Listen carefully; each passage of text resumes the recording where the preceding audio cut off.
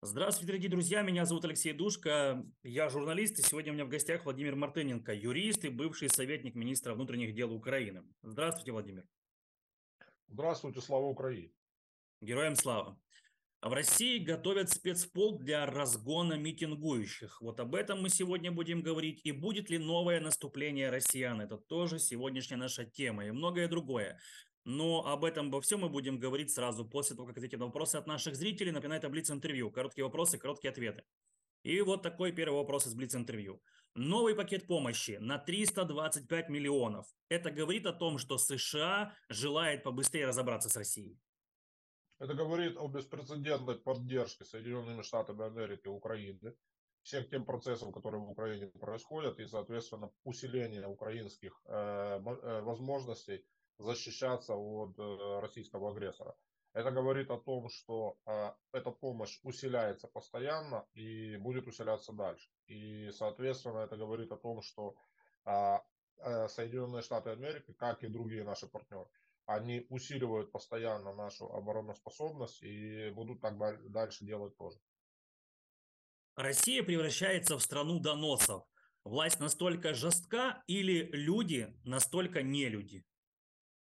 Я вам скажу, что она не превращается, она продолжает быть страной доносов. Это, это идет волнами, причем это идет волнами еще с начала прошлого столетия.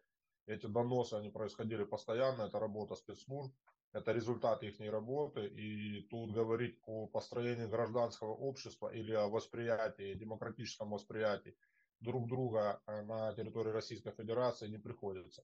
Поэтому э, россияне писали, пишут и будут писать доносы друг на друга. А после поражения как будут обходиться с теми людьми, которые писали доносы? Или все нормально, все вот, ну, это норма? Э, я думаю, что это будет происходить по э, сценарию, который уже происходил. Эти данные засекретят, и после того, как бы эти люди между собой будут общаться дальше, продолжать улыбаться друг другу, делать то, что они делали до этого, до тех моментов, пока эти секретные материалы не вскроются, не рассекретятся. После этого э, мир узнает очень много о тех действиях, которые происходили в России, а в России соседи друг, друг о друге узнают тоже очень много нового. В Москве призывников могут искать по камерам слежения. Это реально так возможно? Это реально. На самом деле реально, потому что мы видим усиление э, российского давления на э, мужчин призывного возраста, которых, которых затягивают уже во всякий возможный способ э, вооруженные силы Российской Федерации. Мы понимаем, что э, боеспособные подразделения России, они уже уничтожены у нас в Украине. И стоит вопрос о том, что их нужно чем-то пополнять, и пополняют их зачастую очень часто пушечным мясом. Это пушечное мясо нужно тоже где-то брать. И вот э, собирают абсолютно всех, где только могут собрать. Уже варианты с тюрьмами были, с психбольницами были, уже были варианты с бомжами, уже были варианты разные всякие, уже пришла очередь собирать всех тех, кто, сидя на диване, аплодировал этой войне. Вот теперь придется поаплодировать, сидя в окопе. А куда бежать от мобилизации?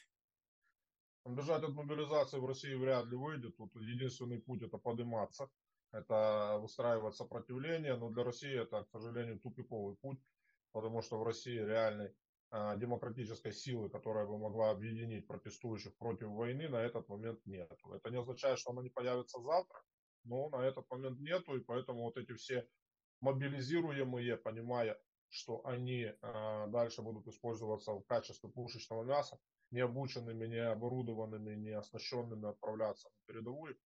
А у них есть еще один, один вариант, один, одна возможность, это сдаться в плен нашим украинским силам обороны и даже контактные телефоны выставляли везде и всюду, для того, чтобы они еще, еще находясь на территории Российской Федерации, уже могли созваниваться и договариваться о том, как они сдадутся в плен после того, как их отправят, отправят на передовую. Кремль доиграется до того, что Китай будет решать, кого посадить на российский трон. Да или нет? Я думаю, что Кремль уже доигрался, и Китай уже принимает решение относительно того, кто будет э, управлять Россией, кто будет тем представителем Китая э, в его ресурсном придатке Российской Федерации. Уже это происходит, и уже этот процесс, он уже запущен. Есть ли разочарование в Путине среди россиян или среди россиян обычных и среди элит? Или все идет по плану? Я думаю, что там разочарование больше среди элит, среди обычных россиян им пока втюхают пропаганду, которая, в принципе, удерживает эти возможности, но, тем не менее, просыпаются потихоньку. А вот среди элит разочарование есть, потому что Путин не может уже гарантировать их безопасность, их э, одинаковое э, отношение к государственному бюджету, к кормушке, Э, к влиянию в середине Российской Федерации и усиленное созданием частных военных компаний или региональных силовых подразделений, а, в том числе региональные элиты уже формируют потихоньку к себе а, возможность удерживать и награбленное, и влияние на местах. Это были вопросы от наших зрителей. Теперь давайте перейдем к вопросам, которые я озвучил в начале нашего разговора. И вот, наверное, самое главное, это то, что в России готовят спецпол для разгона митингующих. А, вот вы как человек, который работал в этой сфере, да, был эм, советником министра, скажите нам, вот что это за люди? Кого они туда набирают? Кого они там готовят? Это сотрудники полиции или просто какие-то вообще люди с улицы? Готовы ли эти люди стрелять или разгонять дубинками? Вот как их готовят? В России построена конструкция таким образом, что, во-первых, очень сильно усилена система Министерства внутренних дел, то есть полицейские имеют колоссальные права, если мы сравним с теми э, простыми гражданами Российской Федерации, ну, если их можно называть простыми гражданами, а Российской Федерации, которые, которые в принципе бесправны, э, если мы сравним с полицейскими. Второй момент э, это, э, это Росгвардия. Росгвардия это те подразделения, которые в принципе призваны наводить порядок, которые призваны а, ограничивать проведение массовых мероприятий, они их называют массовыми беспорядками, это те, которые как раз обучаются, готовятся как раз до работы с э, гражданскими. А, их пытаются иногда использовать на военных действиях, но они больше выполняют функции заградотрядов для того, чтобы не разбежались мобилизированные. Поэтому как бы в России достаточно этих подразделений, которые мотивированы, обучены как раз работать с гражданским. Будут ли они стрелять, все будет зависеть от степени накала страстей на территории Российской Федерации, от тех процессов, которые будут происходить во власти. Будет ли это единый вектор, или Россию э, э, поглотит э, противостояние, в том числе силовое противостояние. И тогда мы можем увидеть картинку, когда эти подразделения, Росгвардии, например, или МВД, они будут переходить потихоньку на сторону народа или на сторону тех региональных или же не региональных, а общегосударственных элит, которые выступят а, в противостоянии с центральной а, политической линией. Я думаю, это возможно, и возможно в том числе и применение огнестрельного оружия, и возможно то, что кроме дубинок будут работать еще и автоматы. Кто будет вот решать, куда переходить и начинать ли стрелять? Это вот от низшего условного солдата, там, майора, или кто-то будет отдавать приказ все-таки там какой-то генерал сверху? Я думаю, я думаю, конструкция будет работать таким образом, что те э, руководители подразделений, которые завязаны в отношениях, в том числе отношениях, связанных с коррупцией, с местными региональными элитами, неважно, это региональные элиты в Чечне или это региональные элиты э, в городе Москве, но тем не менее.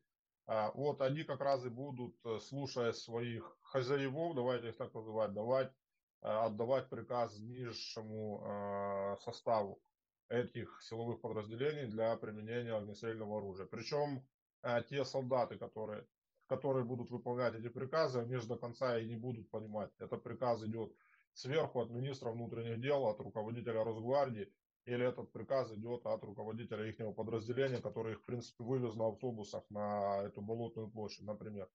Кремль таким образом намекает россиянам, что не стоит выходить на улицы. Правильно понимаю? Кремль очень сильно боится россиян, очень сильно боится улицы. Это, это то, чего он боится больше всего. Он понимает, что улица может стать неуправляемой, и Кремль работал последние десятилетия на то, чтобы улицу просто или обуздать, или уничтожить. То есть все демократические движения, которые выходили как оппозиционные, они потихонечку э, или брались в управление, или уничтожались полностью. Так работали не только по политическим мотивам, так точно, э, точно работали и по религиозным течениям. Потому что мы видим картинки противостояния на религиозной почве в Российской Федерации и э, разные ветки ФСБ, которые занимались разными направлениями в религии, они точно так же противостояли между собой и запускали периодически управляемый процесс, который иногда переходил за грани управляемости, запускали для вот этих вот уличных противостояний. А, будет ли это усиливаться или усугубляться в ближайшем будущем? Я вижу, что будет. Будет почему? Потому что пошел конфликт между мусульманами и между, а, и между православными а, причем вокруг темы построения главной мечети на территории города Москвы. И эти противостояния, они могут вылиться, в том числе силовые противостояния, и э, выйти далеко за рамки, э, за рамки управляемости со стороны спецслужб.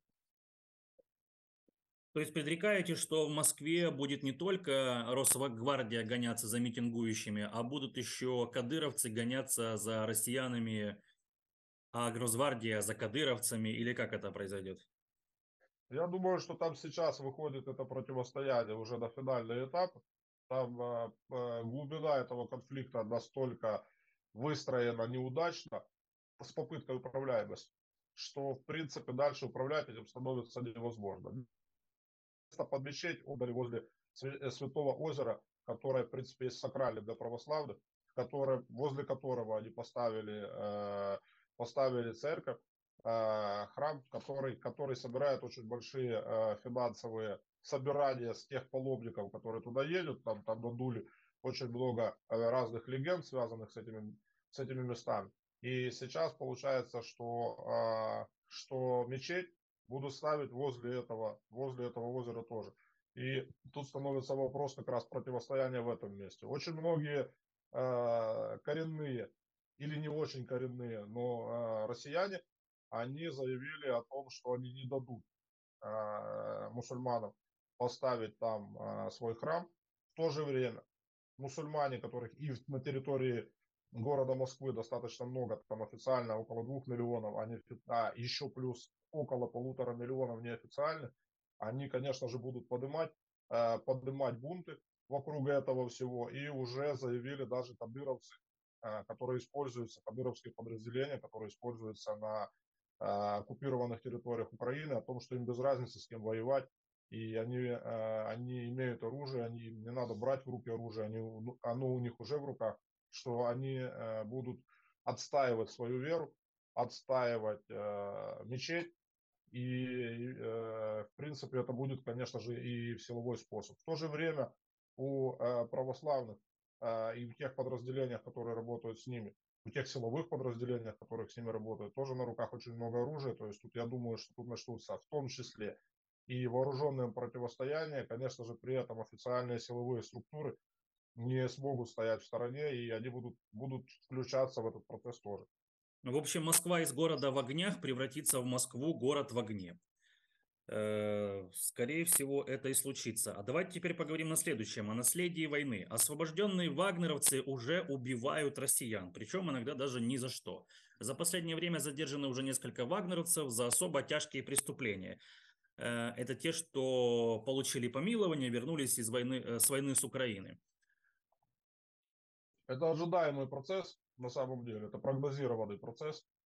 И, э, в принципе, в тот момент, когда освобождали э, осужденных, э, осужденных за тяжкие преступления, освобождали, отправляли на войну, часть же из них до, до передовой не доезжала. Они где-то растворялись, где-то терялись, и, в принципе, и, в принципе, то, что с ними происходило, дальше история умалчивает.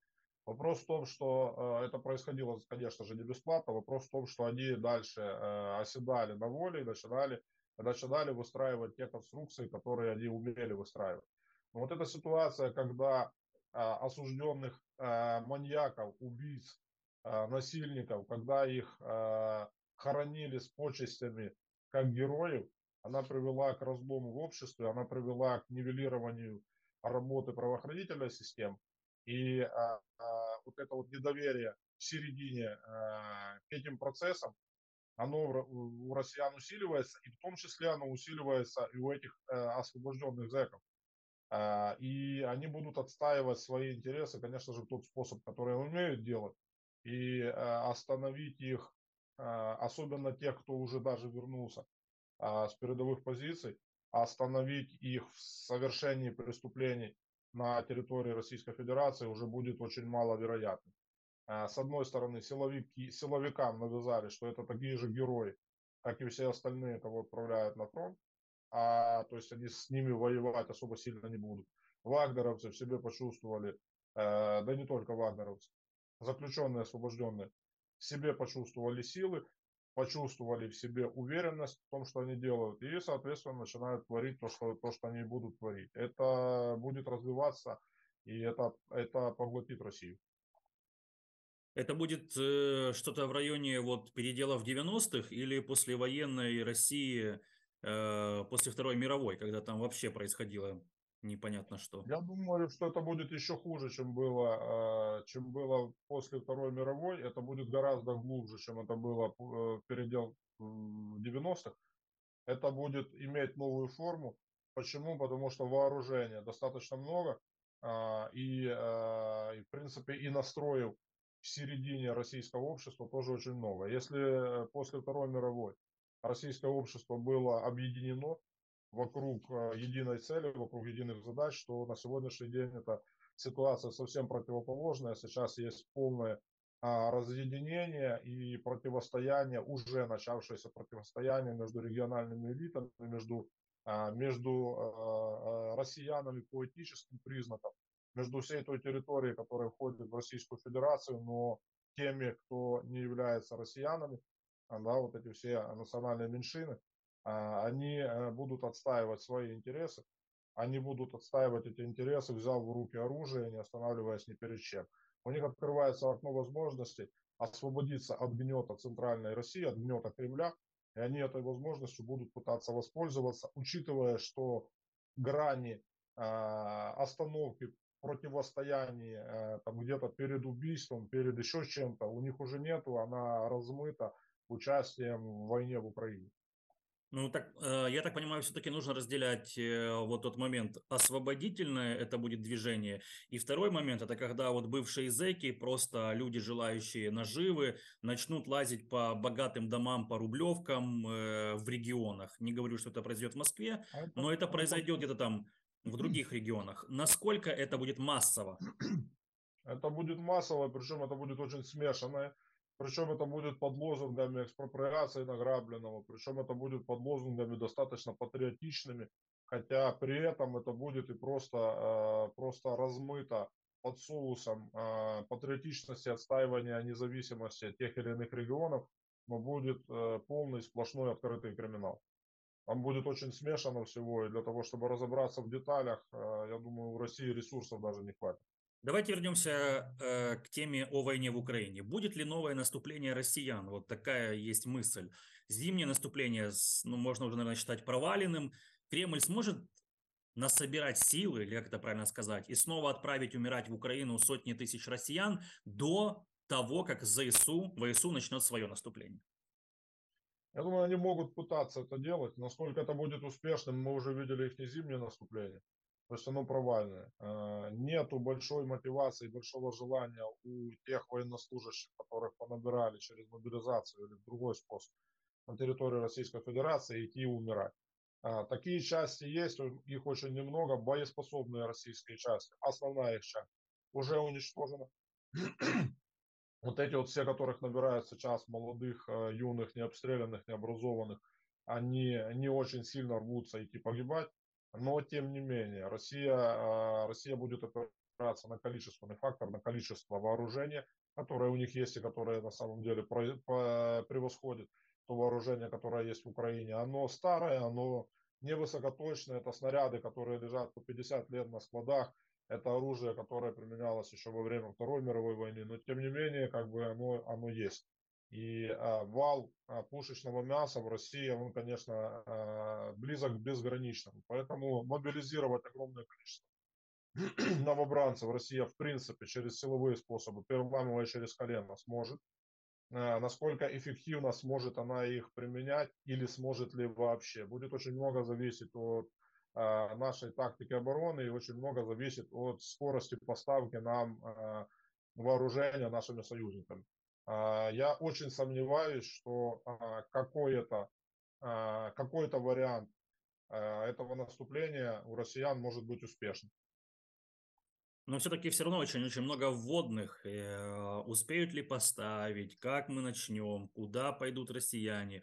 А вот они готовы защищаться. Они понимают, что вот скоро э, идет такой день, не знаю, как его назвать, день X. Ну, россияне сейчас настраиваются, уже перестраиваются с рельсов на нападение. Они усиливают и рельсы по обороне.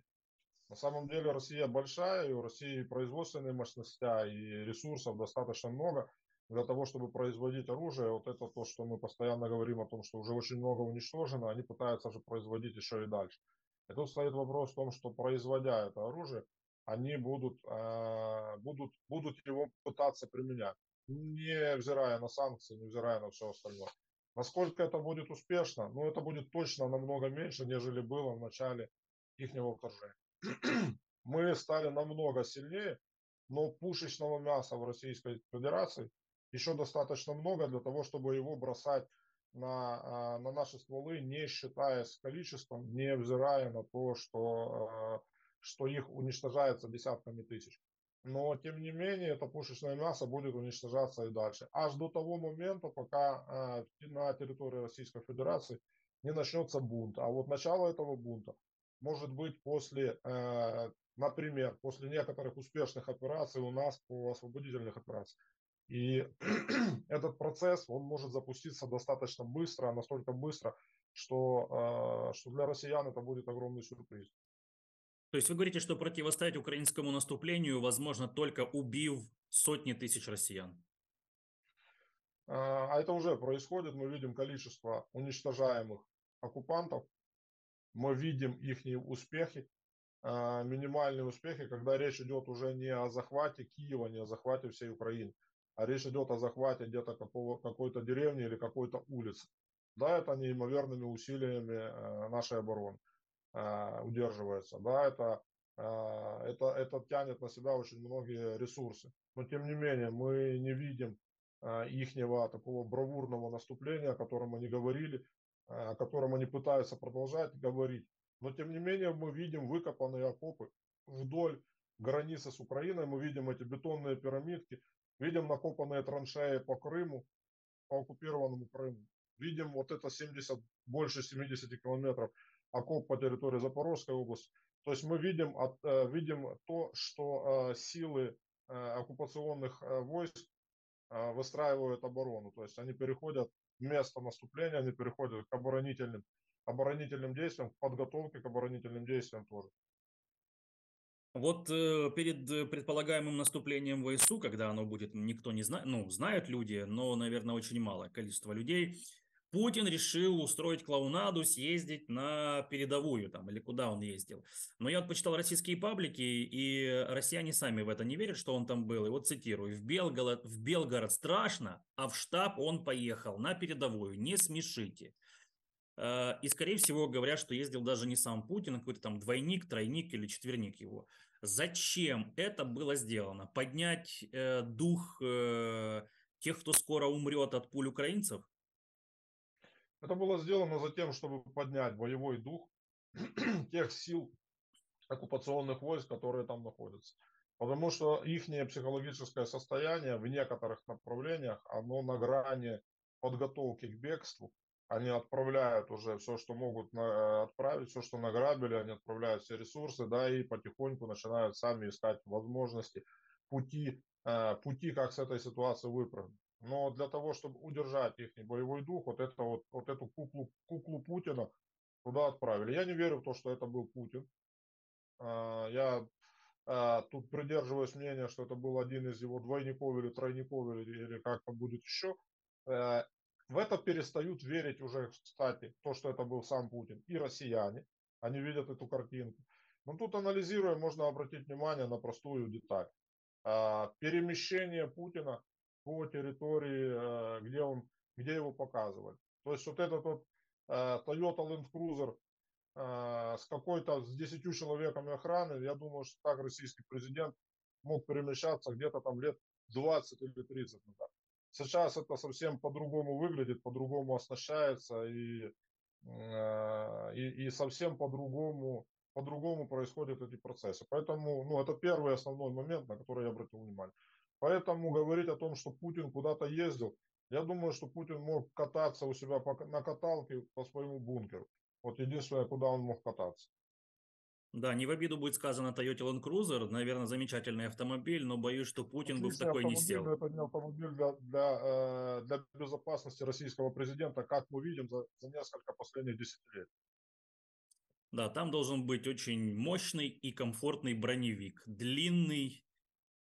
Ну, это уже на, рос, на рассуд россиян, как это на рассуд, на мнение россиян. Давайте поговорим следующий вопрос. 25 лет, 25 лет тюрьмы за правду. Владимир Карамурза, оппозиционный политик, получил такой срок. Ему впаяли все, что возможно. Это для устрашения других? Это для устрашения других, это для того, чтобы уничтожить любые паростки а, оппозиции на территории Российской Федерации. Это для того, чтобы показать другим, что открывать рот в сторону российской власти э, лучше не стоит. Но тем не менее, такие прецеденты мы будем видеть все больше и больше, все чаще и чаще. А в ситуации, когда Россия начнет очень быстрый процесс распада, то таких ситуаций мы будем видеть очень много, и все вот эти оппозиционные политики, если их можно так назвать, потому что в России это очень условно, они будут освобождены, они станут во главе этих протестных процессов. Вот я общался с одним россиянином, который до сих пор остается в России, и он говорил, ты знаешь, мне страшно, это мой знакомый в плане вот э, пересажать всех. Я ему пытался объяснить, не знаю, прав я или не прав, что э, если они, чем больше их воспрянет духом, тем меньше смогут пересажать всех. Или все-таки там система настолько действительно вот ужасна, что может пересажать всех? Система ужасная, система сильная. Мы помним систему ГУЛАГа, мы помним систему э, исполнению наказания российской, российской правоохранительной или еще раньше НКВДшной машины, но мы при этом понимаем при, э, при этих всех моментах, что э, абсолютно всех загнать в лагеря и тюрьму невозможно. И мы при этом понимаем, что чем больше людей будут перед собой видеть выбор, встать с колен или сесть в тюрьму, чем больше это будет критическая масса набираться, тем э, больше шансов на то, что они начнут подниматься. Всех пересажать не получится, потому что и правоохранители это в принципе отзеркаливание гражданского общества. И те правоохранители, пусть они даже сильно мотивированы и подготовлены, пусть они даже озлоблены на это общество и спонсируемыми огромными конвертами в доплату до зарплаты. Но, тем не менее, очень сильно выстраивать противо, противопоставлять себя против общества у них не получится, потому что общество насыщено оружием, оружием, которое, в принципе, предназначалось для войны в Украине. И это, это будет иметь свои последствия, огромные последствия. Я думаю, мой товарищ знакомый смотрит этот эфир, и э, я, пусть он меня, конечно, обижается, но я ему скажу, что действительно пора, наверное, вставать с колен. Ну, это, наверное, наш вопрос. Давайте следующее. Перейдем к Блицу от наших зрителей. Второй Блиц. Короткие вопросы, короткие ответы. Российская Федерация не сможет вести войну с 2024 года по экономическим причинам. Вы как считаете, сможет или нет? Я считаю, что ресурсов для того, чтобы их тратить на а, войну, в России все меньше и меньше, и э, международное экономическое общество говорит о том, что с 2024 года это будет делать практически нереально. А, тратить деньги на ракеты, танки, самолеты и так далее, которые уничтожаются, на оснащение армии, которые уничтожаются, у России этих ресурсов становится все меньше и меньше, и санкции работают. Правда ли, что хитрый Кадыров уже готовится к смуте и развалу России? Кадыров имеет очень большие амбиции, в том числе политические амбиции. Он молодой, амбициозный. И сейчас противостояние по, э, по линии разлома православные и э, мусульмане, по линии, э, по линии противостояния вокруг постройки мечеть, может привести к тому, что Кадыров, он возглавит это мусульманское движение и будет претендовать на наивысший трон в Российской Федерации. Это будет какая-то вот отдельное государство в государстве, там объединиться по вероисповеданию, или все-таки это а, он захочет пойти в Москву? Я думаю, что вариантов может быть несколько. Среди вариантов это отделение независимости Кавказа.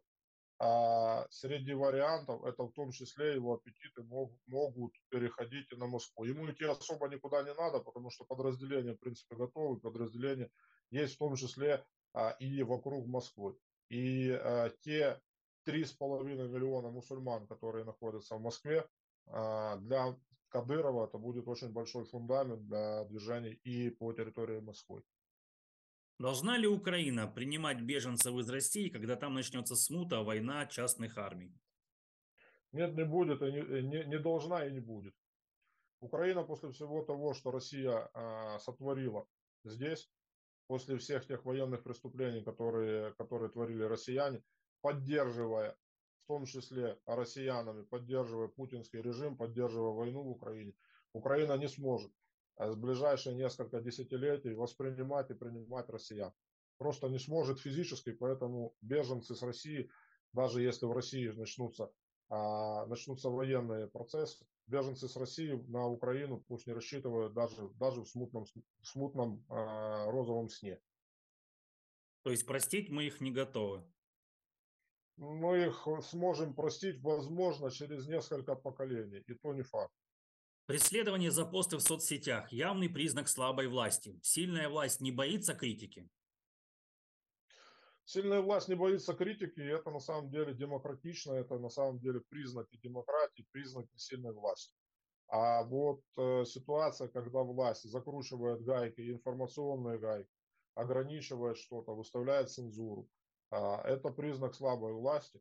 Это относится, кстати, не только к территории Российской Федерации, так везде происходит по миру.